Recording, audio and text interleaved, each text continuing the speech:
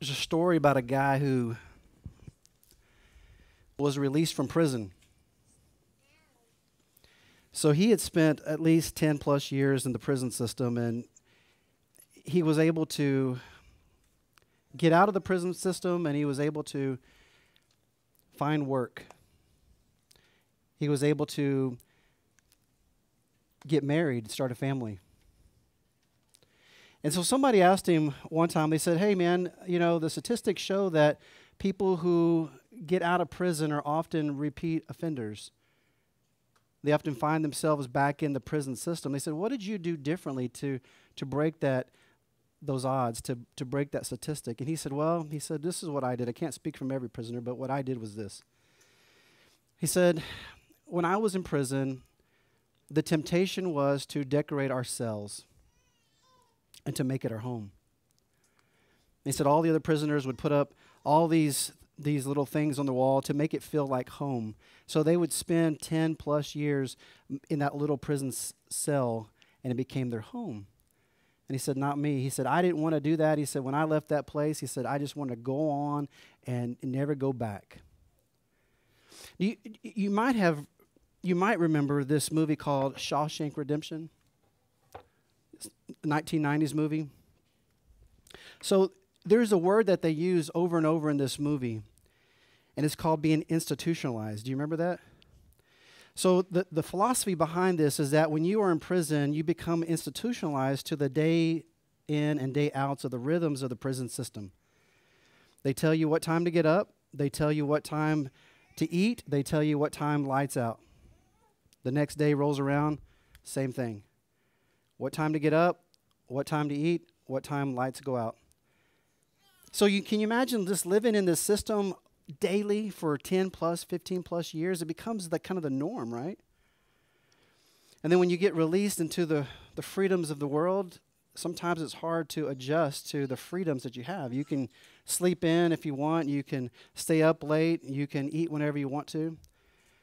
And in the movie Shawshank Redemption, there's this guy, this older gentleman, remember? And he's kind of conflicted that he wants to go back into the system. He ends up taking his life because he can't function in the world. You know, that's a good picture of what the Bible says about our freedom in Christ. Because sometimes in our freedom in Christ, we fall back into the rhythms of the institutionalism of religion. See, there's something that is comfortable about the day in and day out about the religious system that we kind of have those boundaries. But when we have freedom in Christ, it's hard for us to live that way. Paul is going to be talking about this topic today living in the freedom of grace. So if you have your Bibles, turn with me to the book of Galatians, and we're going to be picking up where Ken Black left off last week, and we're going to be looking at Galatians chapter 5. Paul writes this It is for freedom that Christ has set us free. Stand firm then, and do not let yourselves be burdened again by a yoke of slavery. Mark my words. I, Paul, tell you that if you let yourselves be circumcised, Christ will be of no value to you at all. Again, I declare to every man who lets himself be circumcised that he is obligated to obey the whole law. Paul starts off by saying that it is for freedom that Christ Jesus has set you free. Jesus Christ came to set the captives free. He came to set us free from sin. He came to set us free from the things of this world. He came to set us free from religion. That is why Jesus Christ came.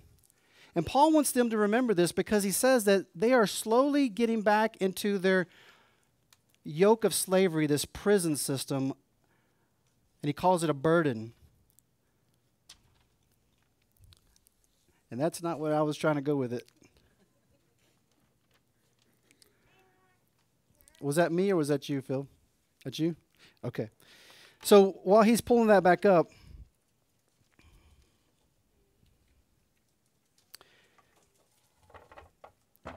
Paul's using this illustration of the. That's me.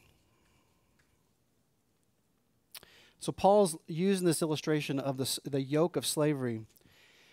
And he says that what's, what these people are going back to is circumcision. Now, that's part of the, the law. And these people are now saying, well, we got to get circumcised to get right with God. And Paul says, look, guys, if you allow yourselves to get circumcised, again, I declare if every man who lets himself be circumcised, that he is obligated to obey the entire law. The law does not make you right with God. In fact, this is what he says in verse 4. It says, You who are trying to be justified by the law have been alienated from Christ. It says, You have actually fallen away from grace. He's not talking about losing salvation here. He's talking about when you start adding anything to the gospel of Jesus Christ, when you add any type of work, when you add any type of law, he says you're actually alienating yourself from Jesus and you fall from grace. It's either grace in Christ alone alone or you begin to distort grace and begin to add to it. And these believers were starting to slowly add to the gospel. And of all the things they could have added to the gospel, they were adding to it circumcision. Now, I don't know about you, but if I'm going to go back to the Old Testament law and I'm going to look for things to add to grace, I'm not going to choose circumcision as one of those things that I'm going to, you know, be adamant about bringing back. In fact, Paul, in the Hebrew, he's saying Cut it out. No pun intended. Did I get that? Circumcision. Cut it out. All right. So so these guys for whatever the reason is is they you know they understand who Jesus is. They're following Jesus and then they're adding to it circumcision. And Paul says, "You have fallen away from grace." Says, for, the, for through the Spirit we eagerly await by faith the righteousness for which we hope. And then verse 6, he goes on to say, For in Christ Jesus, neither circumcision nor uncircumcision has any value. It says the only thing that really counts is faith expressing itself in love. You know, for us as a church, um, I think we can easily find ourselves in a rhythm of religious activity. I, in fact, I think that's probably the biggest problem with the church in the world today, and especially in America, is that the church has been, even though we don't say it, we, we make it a religious institution, or the creature comforts of the Sunday morning checking off the box. Guys, that's not true faith. When you simply say that I get up to go to church on Sunday and you live like the world Monday, you live like the world Tuesday, you live like the world Wednesday, Thursday, Friday, Saturday, and then, oh, by the way, Sunday rolls around, I better go to church. That's not why Christ came to set the captives free. The, Christ didn't come to set us free so we can go to church one day a week. And yet, that's kind of the norm that we've grown into as a culture. Do you realize that in other countries, we have, we have representatives from other countries in this little body uh, of believers here, but in other countries, that people literally live and die daily for their faith? They are at risk of losing their jobs for the name of Jesus. They are at risk for going to prison for the name of Jesus. And I love Francis Chan. Some of you follow this guy, Francis Chan. He, he, he was a mega church pastor here in the United States, and he went off and he went to some third world countries and he began to talk to some of these brothers and sisters from other countries, and and they would. And I think he mentions China one time, and he talks about the underground church in China, and he says these these believers are talking to him, and they said, "Tell us what church is like in America." And Francis Chan says, "Well, you know, in America, we go to church and we have these big buildings and we have these big parking lots and and he says and if there's no parking people leave. And the people said no you're joking right? And they, and he said no for real. He said sometimes we don't have enough parking so they just go to another church or they just go home or they just go to lunch. And the people said well we walk for days just to go and hear the word of god proclaimed And Francis Chan says, No, well, you don't understand the United States. It's kind of a complex world we live in. That if we don't have like a good children's ministry for our kids, people leave. And the people laughed. Are you serious? Yeah. And sometimes, you know, if, if you know, the music's too loud, people leave. And that's just the way, what we've made church. But guys, when we look at the Word of God, and if you are really serious about your faith and you open up, take time to open up this Word and you begin to just look at the early church, you will quickly discover that it's not about Sunday and then I'll see you next Sunday. And then it's Sunday and it's I'll see you next Sunday. It is about every day. Jesus made some strong statements to people. He says, if you want to follow me, you got to deny yourself every Sunday. No, daily. Carry your cross daily and follow me.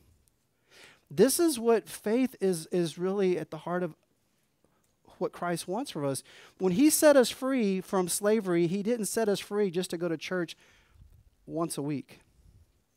He set us free so that we could follow Him. Now, I'm not opposed to church. And in fact, that's why that gathering portion is today. I'm all for that. And if I could, I would say, what are the ways we can gather more people so that people can hear from the Word of God? There's nothing wrong with that. But if we simply make it a Sunday to Sunday to Sunday activity, then we have fallen back into a yoke of slavery. Might not be circumcision, but it could be the, the yoke of a religiosity of the American culture. And Paul goes on to say, he says, guys, it doesn't matter if you're circumcised or not circumcised. He says it doesn't matter if you're a Jew or if you're a Gentile. In fact, the gospel really is for all people. It is for all people. Every tribe, every tongue, every nation. That's what the gospel is here for. And yet, I think sometimes, even me as your pastor, we, I get caught up in our, a 10 mile radius. And I call that my community. And, and I look at, I'm reminded over 10 years that we've been as a church, 10 years in this community, and the community has grown tremendously. But I'm reminded, guys, that the reason why we started this church and we gave it the name Vista was because that if you open your eyes and you look at the view, the vista, you'll see the harvest. Now, I'm, I'm not talking about like farming harvest, I'm talking about souls. When we started this church 10 years ago, I looked out my window and I was like, oh, I love my beautiful view because it was before all the houses were built. And then all of a sudden, they started building these houses on top of each other, literally. And I was like, there goes my view. And then God said, no, that is your view. Those people are why you are here because they need a place to worship me. And that is your view because some of those people don't know who I am, and you have the gospel that you can share that with them. So 10 years in, guys, and, and, and I'm, I'm very thankful for Vista Community Church. But if you've driven down Culebra, some of you might live off of Culebra. If you've driven off Culebra, down Culebra going towards a lake, you will be surprised. There are thousands and thousands and thousands and thousands of homes. And there's not a lot of churches on Culebra drive down Potranco Road, you're getting frustrated with all the traffic and all the people. I know you are because I see your posts. but what if you looked at all that traffic as people who need Jesus or people who need a place to worship? See, I think that, guys, that, that we have fallen into what's what's what about us? Let's just be comfortable with a Sunday, and we'll come in and we'll we'll sing some songs, and we'll give an offering, and we'll drink some coffee, and we'll shake each other's hands, and we'll say, "How you doing?" And then we'll see you next week. And maybe some of us will will take the next step, and we'll get into a Bible study, which is really important because we want you to have life on life with other believers. But I think if we're not careful, we forget the reason why God has left us on this planet is to love Him, to love one another, and to make His great name known. Man, I, I, I surround myself with pastors who challenge me all the time. There's a, a fellow pastor of ours who planted Mission Community Church down the road. And so, man, he and I, man, we pray for our community because he's on the other side of SeaWorld. I'm on this side of the SeaWorld. And we start praying and just dreaming what would it be like to help partner together to plant another church together? I mean, surely this little church hasn't reached all the thousands and thousands and thousands of people in this area. Obviously, we need more churches. I got a friend of mine who's who's a Spanish speaking pastor, um, and he, he started a second language service at Northwest Bible Church. And he lives on Potranco Road. And so I've been praying with him. I was like, what, is, what would it look like if down the road we partnered and, and started a second language service for Vista? Because the people around here need the gospel. And then I, st- I started talking to a friend of mine named Chad from Laredo, and he pastors a church about 700. And his dream, his vision is to plant a church in every zip code in Laredo, Texas. There's five zip codes in Laredo, Texas. And here's the ironic thing about Laredo, Texas: it's a primarily Spanish-speaking culture, and the church of 700 is all English. And he realizes that they need churches in Spanish to reach the people for Jesus all along Laredo, but I have friends who pastor down in Brownsville. I got a friend who pastors in College Station. I got friends who pastor in Waco. All along the border, Del Rio, Eagle Pass. See, so many times we get so caught up in just the, the little picture of our community, which it starts there. But we got to constantly be reminded that the reason why Jesus Christ set us free is that so we can worship Him and help others be free also. So I'm thankful for 10 years, but I'm also thankful that God is not done with this little church yet. So let me just ask, let me just pose this one question. What would it look like for, for us in the next two to five years to be really serious about disciple making. We keep talking about that. Pam and I, Angelo and I, the, the, Angelo and I, the elders, we've wrestled with this. We're trying to figure it all out. We still trying to. It's this little slippery, and it should be slippery because that's what Jesus doesn't give you clear. It's very organic, but it's it's about pointing people to Jesus. But what if we got really serious the next two to five years? And what if every ministry in this church was serious about multiplying another disciple? Helping them grow. Not just me, but helping the next generation grow. And then equipping others. I, I love Angelo. Angelo was not here today. Angelo, I love, seriously, I, I love this guy. You know why? Because he challenges me. You know why he challenges me? Because he's a multiplier. He's like a little fruit fly. You know, you, you, my wife, we have these fruit flies in our kitchen. We can't get rid of them because they just keep multiplying and multiplying and multiplying and multiplying and multiplying.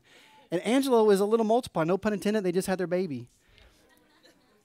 I mean, he multiplies everywhere, every, just everything he does. But when Angelo came, we hired him eh, to be on the worship team. And then, I mean, we got like two or three drummers, we got two or three guitarists, two or three vocalists. And, you know, that's his heart is to multiply. And what if, what if he kept multiplying? What if our children's ministry multiplied leaders and our setup team multiplied leaders and our every ministry in this this church it wasn't a solo act. It was like we're going to help the next person replace me and do my job. Even me as a pastor you know i could say no i got to preach every sunday but no i share the pulpit with guys. Because it's not about me and it's not about any one of you it's about jesus. But here's where i'm going with this. What if we got so serious about multiplying that we actually multiplied every level in this church and we sent out people to help start a new church. Some of you that doesn't even resonate with, and that's fine. But you realize that this church was started with 13 people 10 years ago? Somebody sent 13 people out to help start this work. And I'm sure you're grateful for that, those 13 people. Those people, most of them are long gone. But it's okay. Because it's not about them, it's not about me, it's about us. So Paul is telling us about our freedom. And then he's going to warn us. He says, Warning, guys, the enemy does not want you to live in your freedom. Let's look at these verses here. Verse 7 it says, You were running a good race, church. Who cut in on you to keep you from obeying the truth? It says, That kind of persuasion does not come from the one who calls you. And then he has this quote here. It says, A little yeast works through the whole batch of dough. I love how he uses the imagery of a runner. Any of you guys run in here? I used to run. Some of you are new to this church. You have no idea that I used to run. I used to run. I was about 15 pounds lighter back then.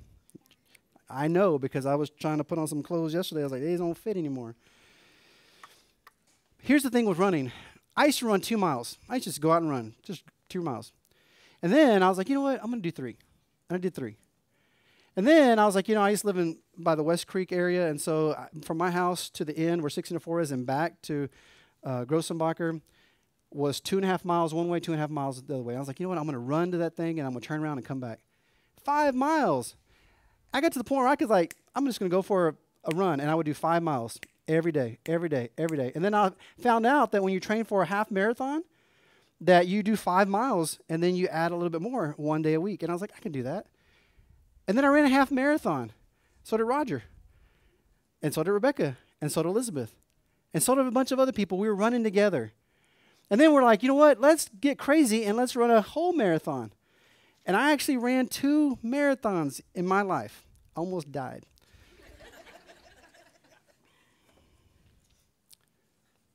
but then you start making little excuses here and there. Well, you know, I got a little ankle hurts. Oh, it's kind of bad weather. Uh, this will be a season where I'll lift you know. And then you wake up three years later and you go try to do a one mile run and you almost die.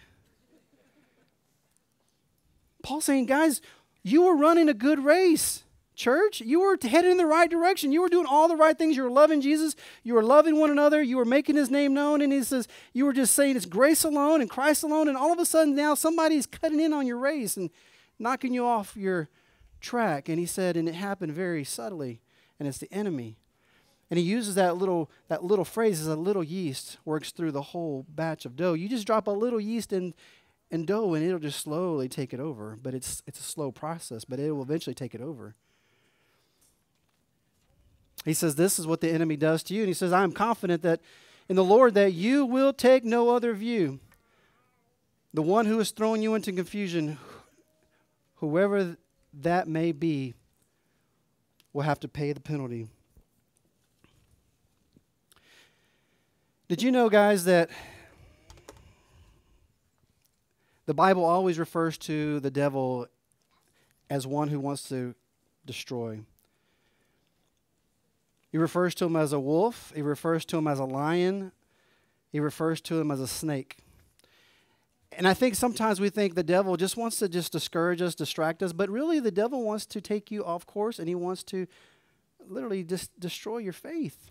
That, that's what he wants. And so when I was looking at this, I, I was reminded of, um, of a snake. In Texas, you know, we go out to property, we go out to the land, like the church land, and we tell the kids to watch out for snakes. What snake are we looking for when we go out to the property? See, every one of you is instantly say rattlesnakes, right? Because that's what Texas is known for. And they bite you, they're going to kill you. They're going to, you know, inject all that venom in you. But the thing about a rattlesnake is that they they give you warning, right? You walk up on it and you're like, "Okay." And you walk away. That's not how the enemy in the Bible is described. He doesn't like I'm over here. You know, I'm giving you warning. No he's more like a python. You know those boa constrictors, those pythons? You ever see those on, you know, those TV? I was watching this. Crocodile versus boa constrictor. Who's going to win? Crocodile's got those big old teeth. Boa constrictor's got the little bitty teeth. So this boa constrictor came up and the crocodile was laying in the water and he opens his mouth. Wow. He's like, I see you. And he's like, You see me? and all of a sudden his tail goes like this and he starts wrapping the crocodile up and he's the crocodile's like so focused on the head of this snake and all of a sudden this thing starts to constrict this crocodile. And before you know it, that crocodile just dead. And you know what this constrictor does then? That boa that whatever that big snake is called? He eats them and the thing is like little but it somehow his mouth opens up and he starts eating this thing the enemy, guys, is like that. He will take little things in your life and he will, they could be good things, and he will slowly get you off course from your faith. And I think the number one thing the enemy does in the Western culture is our busy schedules. I mean, we live in a, in a world that, that to be productive is, is very valued. You work 40 hours a week, someone else is working 50 hours a week. You might as well work 50 hours a week. You better put some overtime in. You want to be a good parent? You better take your kids to everything, you know, they can sign up for. They got homework, they got drill practice, they got band practice, they got football practice, they got cheer practice, they got baseball practice, they got all sorts of things. You want to be a, a good citizen in the community, then you better serve on certain boards and you better run for this board and run for that board and you're all this and that. And guys, here's the thing I do all those things. I'm guilty of all that busyness. And there's nothing wrong with being a good citizen, nothing wrong with being a great parent, nothing wrong with, with being a hard worker. But if you put Jesus Christ at the back of all that, then you've got it all upside down. And that's the slow work of the enemy that slowly gets you distracted to do a lot of little good things and you forget about what's really important. It's Him. That's why every day, guys, every day you, I can't do this for you. Every day you have to make time for Him. Jesus says to seek first the kingdom. You got to seek first Him daily. Then all those other things will take place. You know, another thing the enemy will use would be um, little things like um, friends. You know, how many of you guys are graduating? High schoolers? One, two? You're graduating? No, three? You're not graduating. So here's the thing. Here's, here's what statistics tell us about college. Okay, so pay attention because I'm only going to tell you once. Jonah, Jonah, you know because you've been in college for a year. So here, here's what I'm going to tell you. This is true. True statistics. The people that you hang around with the first week of college is going to be the people, probably the people you're going to hang out with for the next two to three plus years. Because when you go to school, the first week, everyone wants you. The fraternities want you, and they're they're you know they're coming and trying to get get you to rush this fraternity. The sororities want you. If you're in ath- athletics, you're going to spend time with them. If you're in the band, you're going to spend time with them. If, if whatever the case might be, that first week is the people that are going to connect with you and they're going to be that safe haven you're going to feel comfortable with, and then that's going to take you. Now, if you connect with the wrong group, then you're going to hang out with the wrong group for three to five years. Five years. Hopefully not that long. That was my story. That's why Campus Crusade does their very best to, to meet you when you show up at the school because they realize that, that you need Jesus and you just don't know it yet. So, those of you who are going off to college, look for the opportunities to fellowship with the right people because the wrong people will take you off course real quick. Let's conclude here. Let's, let's look at this. So, Paul's going to remind us that our freedom was never given to us as a license to sin. Verse 11 it says this Brothers and sisters, if I am still preaching circumcision, why am I still being persecuted? So, in other words, people were falsely accusing Paul of, hey, you used to preach that. You know, Paul's like, I'm not preaching that anymore. I'm preaching Jesus. In that case, defense of the cross has been abolished. Now, Paul's going to say some pretty hard words here. He says in verse 12, As for those agitators, I wish they would go the whole way when they're circumcising themselves and just go ahead and do the whole thing, emasculate themselves. That's how offensive Paul is when it comes to these people who are distorting the gospel. He's like, I don't want these people to reproduce. If they're going to be preaching circumcision, let them preach circumcision. Let them be first in line. Let them go ahead and just go ahead and keep on cutting away. Verse 13 You, my brothers and sisters, were called not to be in religious activities, not to be slaves to the sins of this world, not to do any of that stuff. You're called to be free. But do not use your freedom to indulge in the flesh. Rather, serve one another humbly in love. When it all comes down to it, guys, we are only to do a few basic things worship God, love God, love others as ourselves, right? Those are the two greatest commandments. Love God First, love others, the body. But the Great Commission is to go and be lights to the world as well. We have to be proclaimers of the good news. Jesus is going to save who he's going to save. We don't save people, but he's entrusted us with the message.